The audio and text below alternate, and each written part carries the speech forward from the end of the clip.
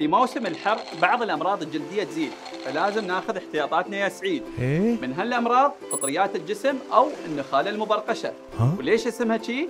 لأن هذا الالتهاب الجلدي يخلي مناطق في الجلد يتغير لونها وتبين بأكثر من لون يا بقع فاتحة أو غامجة واحيانا مزيج من هالألوان. هالمشكلة سببها أحد أنواع الفطريات اللي أصلا يعيش على الجلد. ها؟ لا تخاف يا سعيد. هالكائنات عايشة بسلام وأمان على جلدنا بدون مشاكل لكن أحيانا هذا الفطر يسبب هالمشكلة. وهذه النوعية من الفطريات شائعة جدا خاصة في منطقتنا الحارة. مع الشمس والعرق والرطوبة أكيد تبين الحالة أكثر. تصيب النخالة المبرقشة 2 إلى 8% من الناس خاصة بين عمر ال 15 وال 24 سنة. نسبة الإصابة ترتفع إلى 50% من الناس في الأماكن الحارة الرطبة وتقل إلى 1% في الأماكن الباردة.